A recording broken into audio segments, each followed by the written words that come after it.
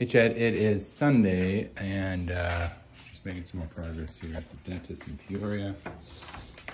So we went ahead and got that drywalled, that drywalled there,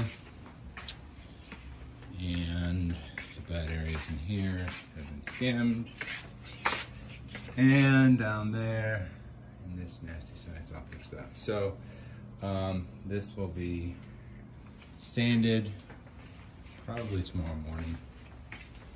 Uh, definitely tomorrow morning because my son uh, has a graduation today, so I'm taking the afternoon off. And I don't know if it'll be dry anyway because it's kind of a thicker coat.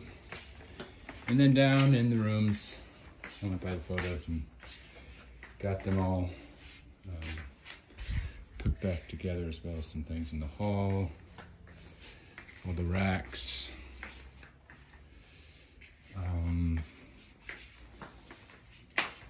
everything where it was.